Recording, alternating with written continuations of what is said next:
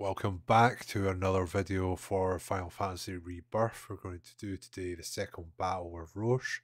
Um, I struggled with this bit when it came up, probably because there was a lot of bosses previously. Um, but I couldn't find many videos at the time, so hopefully this helps somebody out. So let's get into it.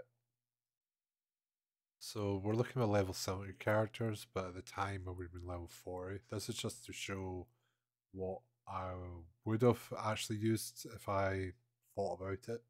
I didn't think about it. Uh, equipment wise, so you would you should have the saber by now.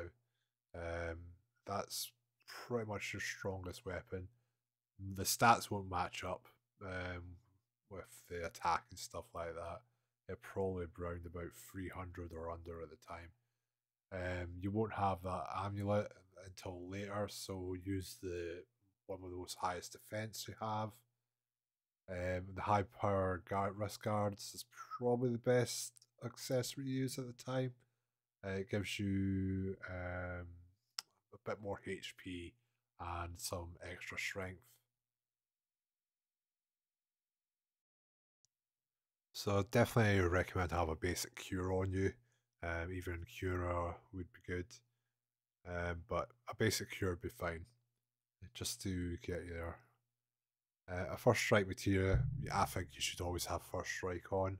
Um, every character that's yours going to be your main character um, that you control. Precise defense force focus, definitely have this. It is one I didn't use. I wish I did because it made things a lot easier.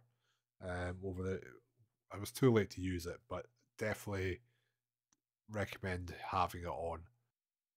ATB Stagger is another one of these ones. Uh, when you have it, definitely have it all the time.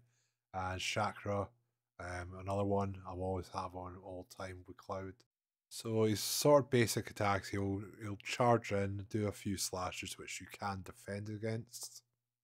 His other move is going to be a ground flame strike, um, which you can't guard against, so best try to dodge it. Um, it's not always great to you can sort of see him telegraph it. So try and get out of the way. And then he usually follows up with a strike. His next move, he likes to use his Soul Cleave.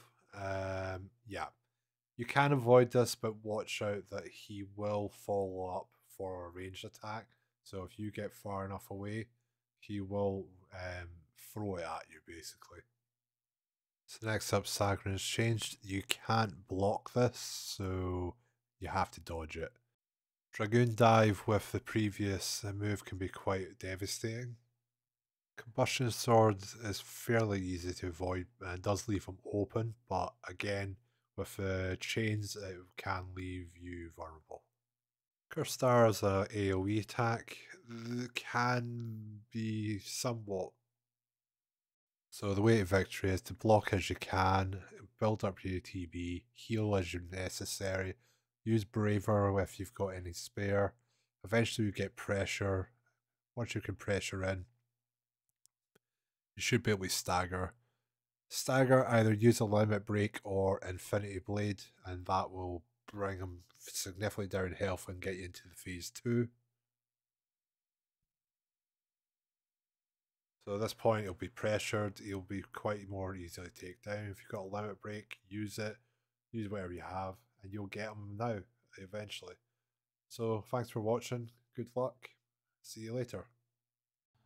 I'm Can't Double Jump. Thanks for watching. You can find me on YouTube, TikTok, and Twitch. Please like, share, and subscribe.